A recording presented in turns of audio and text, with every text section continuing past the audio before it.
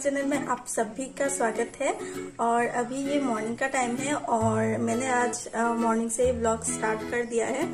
अभी हमारा ब्रेकफास्ट हो गया है।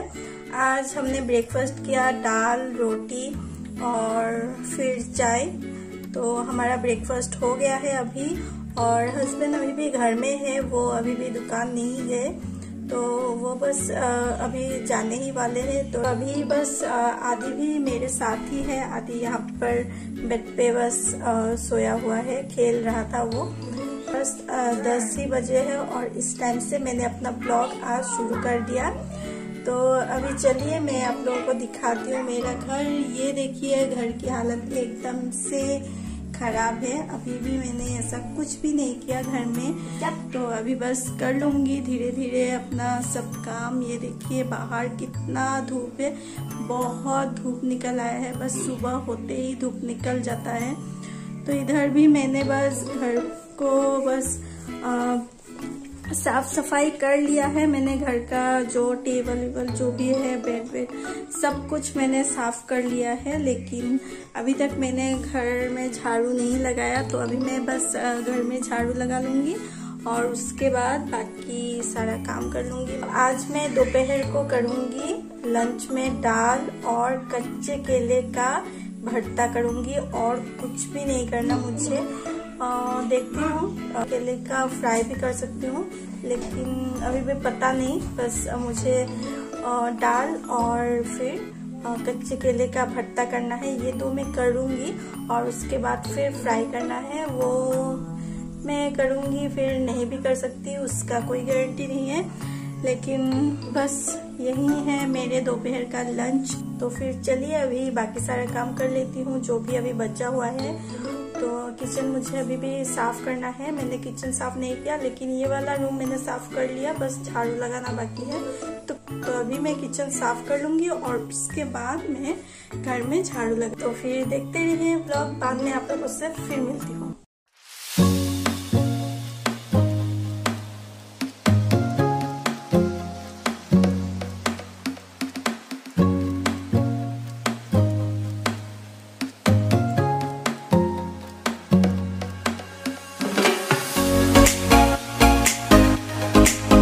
अभी मैं घर में पोछा लगा रही हूँ, लेकिन पोछा लगाने से पहले मैंने कुछ कपड़े भी धो लिए थे। मैंने सुबह ही कुछ कपड़े भिगो कर रखे थे तो वो मैंने धो लिया और उसके बाद अभी मैं आ गई हूँ घर में पोछा लगाने। और घर में पोछा लगाने के बाद मैं नहा लूँगी और उससे पहले मैं आदि को भी नहला लूँगी।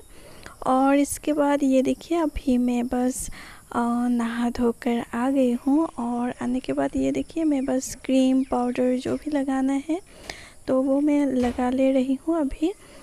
तो बहुत गर्मी है तो इसीलिए थोड़ा मैंने पाउडर भी लगाया आज। तो ये देखिए मैं बस रेडी हो गई हूँ। और इस टाइम मैं आदि और हस्बैंड से बातें कर रही थी तो बातें करते करते बस मैंने अपने बालों में कोम किया और फिर क्रीम सिम लगा लिया। और ये देखिए, आज मैं केले का भरता करूँगी। तो यहाँ पर मैंने तीन केला ले लिया है। और ये देखिए, मैंने दोनों साइड से केले को कट कर लिया है। अब मैं इससे बस अच्छी तरह से धो लूँगी और फिर इसे बॉईल होने के लिए चढ़ा दूँगी।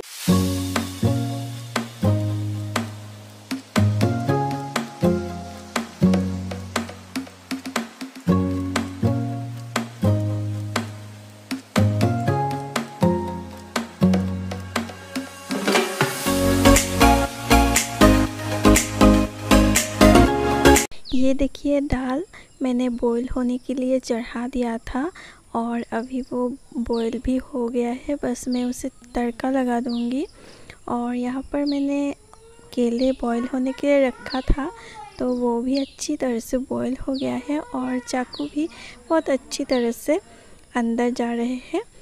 तो ये देखिए, मैंने केले को पानी से निकाल लिया और इसे मैंने थोड़ा टाइम ठंडा होने के लिए रख दिया था बाहर।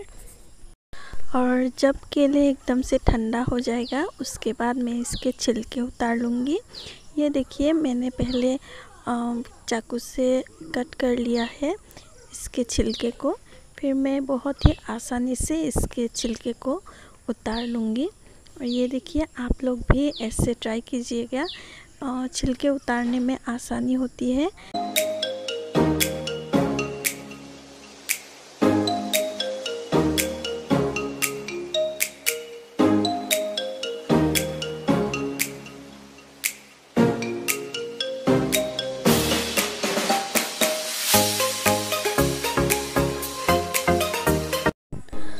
ये देखिए, मैंने केले का छिलका अच्छी तरह से उतार लिया है अभी। और उसके बाद ये देखिए, मैं पहले चिली और नमक को पहले अच्छी तरह से मिला लूँगी और उसके बाद मैं प्याज को भी मिला लूँगी। मैंने यहाँ पर थोड़े बड़े साइज़ का एक प्याज लिया था और अब मैं केले को भी इसके साथ मिक्स कर लूँगी और अच्छी तरह से मिला लूँगी और उसके बाद मैं इसमें ऐड कर दूँगी। कच्चे सरसों का तेल। तो ये देखिए, मैंने इसको अच्छी तरह से मिला ले रही हूँ, अच्छी तरह से सब कुछ। और लास्ट में मैंने इसमें मिला दिया है तेल, सरसों का तेल। तो ये देखिए, मेरी एकदम से रेडी हो गई है कच्चे केले का भरता। तो ऐसे आप लोग भी ट्राई कीजिएगा, इसे खाने में बहुत अच्छे लगते हैं। और ये देखिए, कच्चे केले का भरता मैंने रेडी करके रखा और फिर मैंने दाल भी बनाया। और आज बस कच्चे केले का भरता और दाल से ही हम लोग दोपहर को लंच करेंगे। तो आज का रेसिपी आप लोगों को कैसा लगा मुझे ज़रूर बताइएगा। कमेंट करके। तो आज का मेरा वीडियो बस यहीं तक था। अगर आप लोगों को अच्छा लगे तो लाइक कीजिएगा, कमेंट कीजिएगा और मेरे चैनल को सब्सक्राइब करना मत भूलिएगा।